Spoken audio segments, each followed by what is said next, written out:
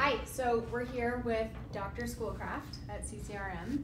Dr. Schoolcraft is one of my heroes in life. Um, he is, uh, you know, not only at the forefront of innovation and technology in this field, but also just a, a, very kind and compassionate um, doctor. And my fertility journey changed radically when when I came to CCRM. Um, I, I had mentioned before I had frozen eggs in my 30s. Uh, those eggs didn't work, and then I tried a couple rounds of IVF at other clinics, and we were just uh, barely getting any results. And so then I did a deep dive into research. I did a lot of due diligence, and what I found is that um, even at some of the top tier clinics, that the emphasis wasn't enough on labs. And this is my opinion, um, but but uh, I, I, think that it, it, it, there's a lot of um, evidence to support it. So the labs and the technology and the science are just so incredibly important, and I, and I really believed this after I did a bunch of research, and then I tried it out. I came to uh, CCRM and I saw Dr. Schoolcraft, and the results that I was able to get here were six and seven times better. Um, and so the first thing that I want to talk about, uh, Dr. Schoolcraft, is why does CCRM have these higher success rates? I mean, it's a it's 33% higher than. Right. Well, uh, it is it is better, and I think we're challenged in a way because, like you, we get a lot of patients who have already failed elsewhere. So, and essentially, we get other people failures, or we get the tougher cases.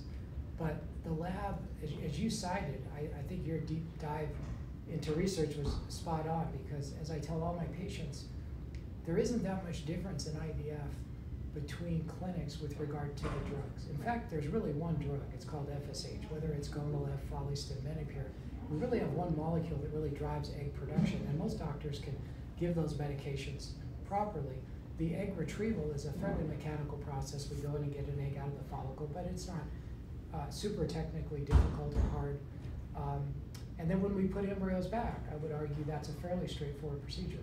So what does that leave? It leaves the six days or so when the egg leaves the body, goes into the lab, is fertilized, is cultured, and then after five or six days, it first of all has to reach the blastocyst stage, which is difficult.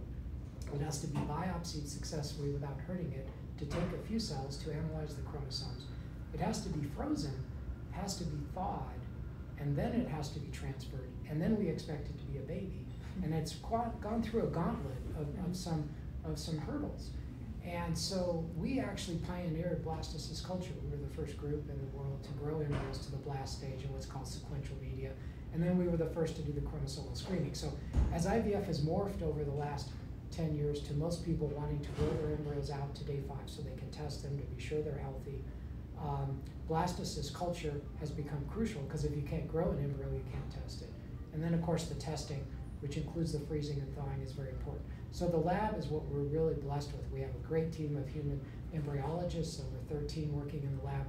We also have 16 people in the research department, and they do all the QC. So they test the media, the protein, the oil, the dishes, the pipette tips, to be sure that each batch we get every six weeks isn't embryo toxic. And very few clinics even have that testing ability to be sure there's no batch to batch variation. Right. So I could talk for hours, but you kind of get the idea. The lab is a very complicated thing, and it's different at each clinic. I would say almost every clinic uses the same drugs, uses the same technique for egg retrieval, and almost none of them do the lab the same way. Right. And uh, I mean, you know, like I, I was saying, at the other places I went, even with younger eggs, I was getting one blast Right. total. And here I've gotten six and seven. Yeah. Um, and that, that gives you the chance, right? I mean, that gives you the material to work It- with. It is a numbers game, and you've got to get embryos to not get so stressed that they fail to grow to the blast. Otherwise, for that embryo, the game's already over. Once you get to the blast, you still have to get lucky and have it have the right chromosomes. But the more you can test, the better your odds get. Right. Yeah. Um, so yeah, I, I just I I can't say enough how critical this discovery has been in my process, and I believe it would have been critical in my egg freezing process as well. Um, No question. Uh, the, the freezing of eggs is very technical demanding, and they are more fragile, I guess you could say, or more sensitive even than embryos. mhm. So I, I agree. Um, so the, the first kind of question and a lot of the questions that I got um, when I when I polled is about egg freezing, and so this is something I feel very strongly about uh, educating to the best of my ability because um, it's important, and you have women that are really doing this and and, and need these good results. So um, obviously the lab is of critical importance. It is, and egg freezing to youngsters, twenty-five and thirty-year-olds, sounds like a commodity. Everyone's advertising, we freeze eggs, we freeze Right. eggs for, for eighty-nine ninety-five or whatever. It's almost, it sounds, uh, like a, like a deal. Right. And of course, that's interesting, except some of these clinics have never thawed an egg and had a live birth.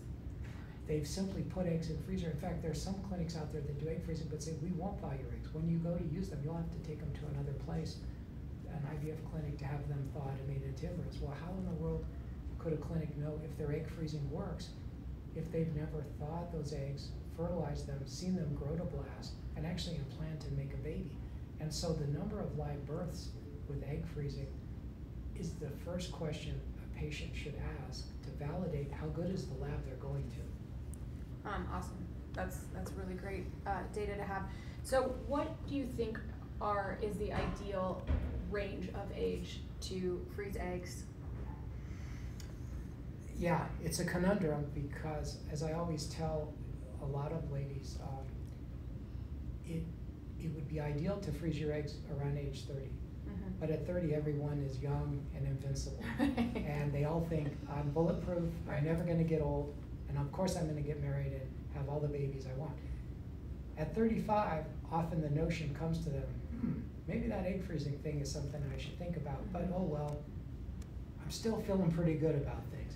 And then about 38 or 39, this wave of kind of urgency sets in, and they go, oh my gosh, that idea that crossed my plate at 30 and I thought more about 35, I need to rush out and do it tomorrow. The problem is they've reached a point where their egg quantity and quality is quite a bit lower than it was at 30 or 35. So I think everyone who isn't married at 30, who wants a family, and who would be interested should at least test their ovarian reserve.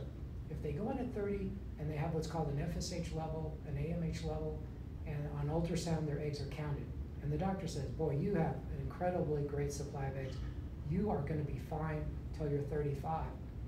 Maybe they can wait a little longer. If they learn at 30 that, wow, I'm someone who genetically has eggs declining faster than normal, the doctor will probably say, and you better go get those eggs now to be safe.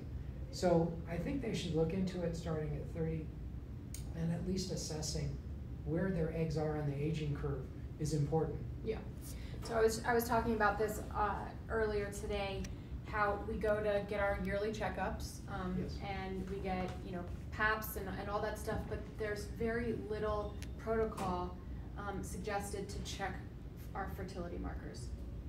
You're so right. In fact, uh, Mandy Katz-Jaffe, who's our genetics director, um, and I kind of went on a campaign a couple years ago to, to kind of enlighten OBGYNs to say, look, ovarian reserve assessment is something you should be offering single Absolutely. women. And most of them were like, wow, that's a great idea, but it's not something we, we're trained to do or we typically discuss. And so we're trying to get the word out. But I think in the meantime, patients have to be their own advocates. They have to say, thanks for my birth control pills, thanks for doing my pap smear, I'm glad I'm healthy. By the way, I want to assess my eggs, and I've read if I can have an AMH and an FSH and an ultrasound, I can learn more about my egg stats. Sometimes they'll have to push a little to get that data or request it. I can't stress how much I think that that is valuable, valuable information. I have friends that started uh, having declining ovarian reserve very early, and they didn't know it until the, the you know until the tail end of it. And they're often told, your exam's fine, don't worry. Right. Don't worry, you're young. Don't worry, everything's probably great. But no one actually knows how their eggs are, are aging. Right. So AMH and FS, FSH are blood tests. And, and, and coupled with that, an ultrasound can literally count the number of resting follicles. Those three things together uh, could give them a very good idea of where they are. Yeah, and I'll put I'll put that in a post as well, just so people have that information. Yeah. Um, so uh, some other questions we're getting here. Um, does being on the pill hurt our chances to conceive later? No, no, it's a myth. Uh, it doesn't, it doesn't help either. I've heard people say the opposite. It saves all my eggs because I'm not ovulating those. That's not how it works, but it certainly doesn't hurt your fertility. Okay. Um, are there things that we can do to improve our fertility and to pr- improve egg quality? Well, the first thing is to do no bad stuff, and, and smoking, uh, higher volume, sorry, so I'll speak louder. Um, smoking is probably the first thing that can affect eggs and sperm. So not smoking, and that includes marijuana here in Colorado, folks. Um, that's important. Uh, trying to have a normal body weight, um, and then minimizing or at least going light on alcohol and caffeine. These are just lifestyle things. If people ask about a diet, there's all this crazy stuff about dairy's good, dairy's bad, gluten's good, gluten's bad. But what you could generalize in somebody who doesn't have celiac disease is a Mediterranean diet or something on that order, which is full of antioxidants, low in saturated fat, is a good diet. And then there is some data that certain antioxidants can help egg quality. And we did a study on one very potent antioxidant. It's a form of the acai or acai berry. Um, and that's been very promising in a study with women getting about 30% more eggs on average. Another antioxidant that was studied by a Canadian group is coenzyme Q10 or CoQ10, and it's probably worth taking as well. So lifestyle, weight, smoking, diet, um, antioxidants, those would be the, the, the hallmarks of helping your eggs. Yeah, and I can attest to uh, using that acai supplement here, and I definitely that that was the round in which we got a normal embryo and, and more Awesome. eggs. Yeah. So cool. Um, very cool. And that's what also what I like about coming here is the, the other places I went to was kind of like, okay, here's the protocol and we'll keep, you know, and, and instead of changing things up and trying different things, it was just like after a couple rounds, well, you should maybe think about other choices. Right. And, and since I've come here, we've, you know, we've kind of run the gamut, right? We've tried all different things and, and we've gotten a normal embryo and it never seemed like we're ever gonna get there, but, um. But your, your tenacity, which is, is yeah, why you well, have it. it's a, our, both CCRM and me together. Um, so what role does stress or trauma play? You know, it's poorly understood because it's poorly measured. I think we really are still lacking a, you know, a meter where we can stick somebody's finger in and get a reading of forty or sixty or hundred on the stress meter. But we know it, it creates vasoconstriction, which decreases blood vessel diameter, so less blood flow to your ovaries, less blood flow to your uterus. Um, you know, stress can cause hypertension, it can cause migraine headaches, ulcers, so it can cause a lot of damage to the body. You can't really worry about stress because it's a circular thing, but to the degree that you can create a window of time where you're not taking on new burdens, work isn't overly demanding, and at least your stress is, for you, as manageable as you can make it, I think is wise. Yeah. Um, I, I know that you have acupuncturists Mhm. that you work with, Yeah. um, that you believe in, and also, um, we talk a little bit about meditation and some of these, these tactics that can bring down the nervous system, that can, that can Right. calm and quiet the mind. Right. Um, if for nothing else, to have a little bit more peace in the process. Yes, absolutely. Well, and, you know, it's, a- it's sort of anecdotal, but everyone, I think, probably knows of someone who literally tried for years Right. and at some point almost gave up. Um, they went on vacation. They said, fertility's in the rearview mirror, I gotta move on with life. And what happens? They get pregnant. I have a lot of friends. And you're thinking, that's a very strange coincidence. The fi- the time you let go of this burden and de-stressed, suddenly your body worked. So I think we know there's something to that. Absolutely. So, how long do you think is a, a good amount of time to try to get pregnant before you come in to try to get help? Um, ASRM, our national society recommends um, just waiting only six months if you're after 35 or older than 35. Women under 35, they would argue, could try for up to a year before seeking help. But we see some patients who haven't tried for a year and they're just so anxious about their infertility and so frustrated already that they want at least some testing. They may not start treating Right. yet, but at least they want an evaluation to know, are my tubes open? Am I ovulating? Does my husband have adequate sperm? I- Am I even in the ballgame here to have a chance? Right. And so I think it's whenever they're that stressed that they want answers, certainly more than a year if they're under thirty-five, and six months of trying if they're um, older than thirty-five. Right, and, and even if you're out of state, you can call CCRM, set up a phone consult. Right, and we can kind of tell you, is it time to get tested? And Right. if so, we can arrange to set that up, we call it a one-day workup. You can literally come in for one day and really learn everything you need to know about your fertility potential and what treatments, if any, would be the best fit. Yeah, you know, it, in so many ways, fertility is in the dark, you know, and you just feel somewhat powerless over this whole process. And so having conversations like this, which impart real action steps to empower yourself, to advocate for yourself, I mean, that, that was a game changer for me. And I think CCRM is just an incredibly comprehensive place to, to, to learn about your body and learn what's going on. Um, and, you know, I, it, it's not out of reach, people can call, and then there's also what, eleven different locations? Yeah. Yeah, Well, I give you credit for doing these kind of things because I've had other high-profile folks that the public knows and they've gained great inspiration from having stories like yours shared because it makes their situation real. Yeah. They can identify with it. And in many cases, it stimulates patients to, to go get help. yeah, Or in the case of Giuliana, who some of the people know as a patient here, it inspired them to get mammograms to get checked for breast cancer. So no you, you are uh, a voice to folks and you kind of legitimize, I think, for a lot of people who think they're in the closet and no one else knows about their infertility, it kind of gives it relevance. Normalizes it, yeah, Yeah. for sure, absolutely. Um, so what, I, another question that was brought up is, does constant exposure to technology affect fertility? If you're referring to computer screens and cell phones, uh, no, there's no evidence that that low-level radiation causes infertility. We do tell men if they use a laptop and it's sitting right on their lap for hours a day due to the heat, that might not be ideal, but that would be the only uh, modification. Use a use a desktop or put the laptop on on a desk. Okay, um, how are we on time? Good, twelve oh four? Yeah, we have a couple more. Okay, cool. Um, so, we had a lot of questions about miscarriages. Yeah. And what are, you know, how common are miscarriages and what are some of the main culprits or the main culprit? Well, miscarriages are very common. In fact, fertile women uh, often miscarry as long as often as one out of four pregnancies, and yet they go on and have two or three kids. But it's an ever increasing problem as female age gets older. The egg that they're ovulating is getting older. If they're 30, their egg is 30. If they're 35, it's 35. And the older the egg, the more prone it is to divide its chromosomes improperly right before it fertilizes. The embryo is then chromosomally abnormal and they miscarry. So, so miscarriage rates vary. At age 30, they may be 20%. At age 40, they may be 50%. Right.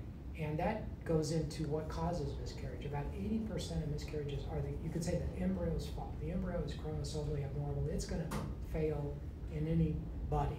Even if that embryo was put in another woman, a gestational carrier, it would miscarry. 20% of the time, the embryo is okay, and it is the uterine environment. So when people have had two or three miscarriages or more, we typically do a workup to be sure their uterus isn't the cause. They don't have fibroids, polyps, adhesions, they don't have an immune issue, they don't have a hormone deficiency, a thyroid problem, etc. And if we work all that up and say your body looks like you should be able to carry an embryo just fine, then we typically think it's the embryo. And often IVF, where you can screen the embryos and put an embryo back that you already know before they get pregnant has the right chromosomes to go full term, is for them the answer. Yeah. In fact, again, we talked that we invented that technology. Well, early on, we did a study in recurrent aborters, people with three or more miscarriages. We did chromosomal screening. When we put one of those embryos back, the miscarriage rate was six percent. Wow. So very low in people that were notoriously miscarrying before they had their embryos screened. Wow. So it's a game changer. It is a game changer, and, and this kind of brings me to my next topic, which is um, getting pregnant after 40. Yeah. Um, lot of people want to know if it's too late, um, and this is kind of what we're talking about, right? Um, that our a, a- significant percentage of our, our eggs are chromosomally abnormal like this. But what IVF does to solve for this, right, is we're able to produce more than one egg in a cycle, a batch of eggs, and then fertilize those eggs and test them and handpick which of the embryos are normal, so That's right. it gives women a, a real chance after forty, right? Right, we, it's not too late, we do get live births up to age forty-six with someone using their own eggs, and after forty-six, certainly with egg donor, it's very successful, but at forty, you're not close to the outer limit of forty-six where people's own eggs still work, but it's important at that age to get your fertility assessed quickly, cause you don't have time to waste. Right. And then secondly, um, if you're very serious about fertility, I would argue compared to, to trying on your own, which is one egg a month, and unfortunately, if you get pregnant and it's an abnormal embryo, you're pregnant three months, you have to recover from a miscarriage, you lose six months, and at forty and beyond, that's precious time that Mhm. isn't really affordable. So I think IVF, where like you said, you can sort of cheat nature, you can get thirteen eggs in one month instead of one, and you can pick the one golden embryo, almost gives you a year's worth of opportunity in one month. Right. And you can really fast track time. Yeah. So, uh, you know, what I, what I would say to women, uh, that are wondering about, um, getting pregnant after forty, it's not the easiest road a lot of times. No. Um, but, um, you know, like in my case, I, I, this is important, and, and when something's important, you, you, you're in for the long haul, and it's, it's difficult, it's expensive, um, but it, it can absolutely be done, you know, if, if, where there's a will, there's a way. Um, it's not a guarantee, but, um, but I think, but again, even more critical to come to a place that can take care of, uh, and grow these embryos to give you a real chance to see which ones are viable. I wouldn't have gotten there at those other clinics, Yeah. producing one, um, blastocyst. Right. It just wouldn't have happened, it would have, you know, It'd be a I'd have run out of time. Um, so we talk a lot about, uh, IVF and basic, can you just kind of give us a brief summation of, of what that is and? Sure, well, it stands for in vitro fertilization. In vitro means in the petri dish or in, in glass technically. And the steps are really threefold. Um, taking medication for about 10 days to sort of trick your ovary into making one egg, instead of making one egg, to make possibly 10 eggs. And then rather than let those eggs pop out of the ovary or ovulate and find their way into the tube, we actually go in with a needle and we pull the egg out of the ovary. So we have the egg in a petri dish, we fertilize it, we let as many of those grow to embryos as will grow. And then, as Molly described, we can, before we freeze the embryo, we can test each embryo for chromosomal status. So we're creating multiple eggs through the drug, step one. Step two, we're going in and retrieving the egg. And then step three, we're growing and testing embryos. The final step then is once we have a good embryo, we simply transfer it back into the uterus with a little tiny catheter. Uh, it's analogous to having a pap smear. It's a painless procedure, there's no anesthesia, no surgery, that's super easy. So the challenge for the woman is quite honestly taking the drugs for ten days, they're shots, so not Mhm. exactly the most fun you've had. But the egg retrieval, however, I would argue is pretty routine because you're asleep, so it's, it's not painful. And when you wake up, you're a little crampy, a little bloated, but we've used just a needle to get the egg, so it's not a traditional surgery with a, an incision. So those are the highlights of the procedure. Um, and are, are, people wanna know about birth defects associated with IVF. That's a tricky one. So if you look at the data, there's about a three percent higher rate of birth defects in IVF children than babies born naturally. But epidemiologists have looked at this data over twenty years and realized that it's probably not the IVF procedure, but the patients, which kind of makes sense. If you're dealing with IVF patients who may be on average thirty-nine years of age, and after all, they have infertility, their husbands may have sperm issues, uh, they may have egg issues. Their sperm and eggs may make more abnormal embryos than fertile couples who on average are twenty-eight years old and get pregnant on their own. So when they found later that people with long histories of infertility who were waiting to do IVF but got pregnant naturally had the same three percent higher rate of birth defect, they realized it was the status of the patients doing IVF uh, that led to this three percent higher risk, not IVF. So in other words, if you're thirty-nine and you're infertile, this slightly higher rate of birth defect would apply to you no matter how you got pregnant. Natural, insemination, fertility drugs, IVF. So the procedure itself doesn't seem to alter the chance to have a healthy baby. Are those birth defects that, um, can check for with CCS testing? Some are, uh, many are chromosomal, and, and certainly that data wasn't in patients who all had CCS. So some of their babies born had chromosomal errors, and those would be screened out with CCS. However, there are birth defects that occur that are non-chromosomal. People have heard of cleft lip or cleft palate, or spinal cord defects like spina bifida, um, and those are structural defects, but can't can't be screened out at the embryo. Got it. Um, and then let's see. And I mean, I think you just covered this, but there are uh, there's a higher risk of birth defects as you age. Yes, and and to a, to a large extent, the larger defects with age are just chromosomal. So IVF really uh, negates that. Right. It's a game changer again. For sure. And then um, we just have a couple more questions. Uh, is egg freezing possible with PCOS? Absolutely. In fact, some ways those patients have an advantage because for, for the price of an egg freezing cycle, They make a lot. more eggs in the freezer than the average person. So Right, right. in, in some ways, but you have to be very careful. The doctor has to be very careful with the medication because those patients are at risk for over responding and what they call ovarian hyperstimulation. So Right. there's some caution. Well, I just appreciate you doing this so much. Oh yeah, this was fun. Yeah. My first ever live Instagram. Oh my gosh, well you did amazing. I'm uh, You're a natural. yeah. I gotta get my own channel. Yes, I'll actually put my I'll put my golf swing on um, yeah, so I just I can't say enough about how grateful I am that I found CCRM and, and Oh, that I went into your office and you were the first doctor that said, let's give it a try instead of let's consider other options. Oh, before we go, I just I do want to um, cover one other thing, uh, donor egg. Can you just kind of give a brief overview of donor eggs Well, and what that you know, looks like? There, unfortunately, and I'm, I'm known as the brutally honest doctor, when people don't have a, a chance to have success, I will be honest with them. The last thing I wanna do is lead them through expensive and painful treatments for not. And, and when people reach that point, um, know, know that I will give them an honest assessment. Is it their first choice? Never. But if you face a point where either you're not gonna have a baby, or you could have a baby with egg donor, or you could adopt, I think egg donor has a lot of merit. Um, but you are, at the end of the day, combining an egg from a donor who is matched to you physically, ethnically, you would know their education level, their, um, their e- employment, if they're athletic, if they're musical, artistic, a lot about their background. They're screened genetically, they're screened for infectious disease psychologically, and those eggs would be fertilized with your husband's sperm.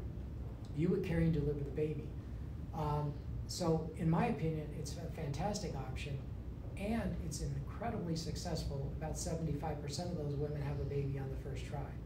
But if you're honest, every woman would go into that saying, I don't know, this doesn't feel good, this doesn't feel comfortable. So to be honest, it's it's something people do reluctantly because they think it's the best option that they still have left to have a family. They then get pregnant, and once they get pregnant, it's the same story over and over. Dr. Schoolcraft, why didn't you tell me this? This is the best thing ever. You should have told me I was going to be so happy. And I say, I tried, but how would I let you experience pregnancy even for a day until you did it? Well, you're right. But boy, can I tell someone else? They they want to be advocates for other patients to say, I was in your shoes nine months ago. I didn't want to do donor either. At that point, now I'm the happiest woman on the planet. So once you're pregnant and you realize without your uterus and your body, this baby wouldn't exist, it's incredible. But I think, to be honest, none of us are good enough to convey that experience. It, it's a leap of faith. You have to do it and just realize once you're pregnant, you'll feel the way all these other women do. So I'm a big proponent of egg donor, but I realize for everyone, it's it's kind of a last option, and, and rightly so. Rightly Yeah. so. Absolutely. Okay, cool. Well, thank you so much. I'm gonna put information um, on how to get in touch with CCRM and some of those uh, fertility tests that we talked about in the beginning. And thanks, Dr. Schoolcraft. You're welcome. Great to see you. Yeah, Thanks for doing this. Of course.